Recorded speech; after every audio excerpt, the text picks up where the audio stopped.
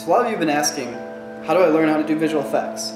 To learn visual effects, you have to sit down and say, what effect do I want to do? You choose a single effect and you start from there.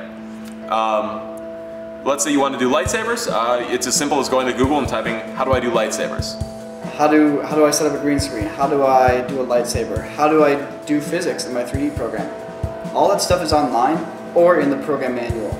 It's just about having the realization that all that knowledge is actually out there. Alright guys, here's a list of websites that'll help you learn how to do visual effects. First off, if you want to know about After Effects, check out videocopilot.net. If you want to learn about 3ds Max, check out 3dtotal.com. They got a bunch of good tutorials in there. Also, read the manual. Got a lot of good stuff in there.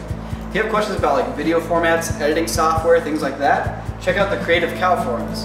What else you got, Sam? Uh, Fusion, motion tracking, things like that. Uh, YouTube is actually one of the best resources for this. Um, obviously, the manual is the ultimate resource for any of these things, and a lot of people tend to look past this just because it's intimidating by the amount of pages, whatever. It's the best way to learn anything.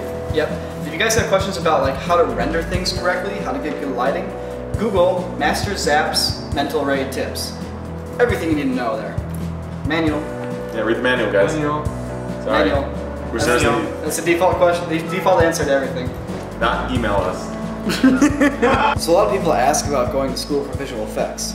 And I think that's not really the right approach to take. Because visual effects is kind of like a subset. It's like going to school to learn Photoshop. Like you don't go to school to learn Photoshop. You go to school to learn how to be a photographer and Photoshop is one of your tools.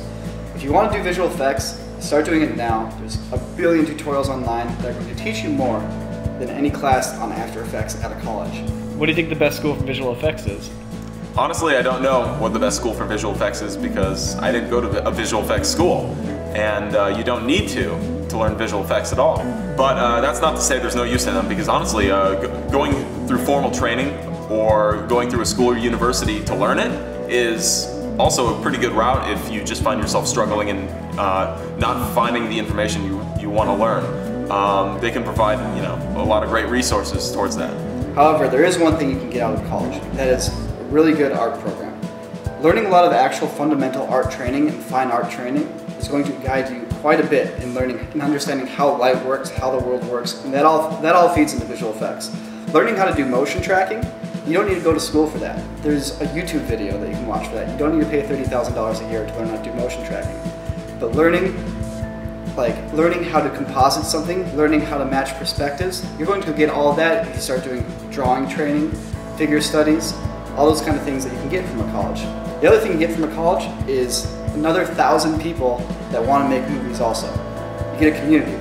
So there's there's certain like pros to going to college, but there's certain things that you might be looking for in a school that actually aren't really there.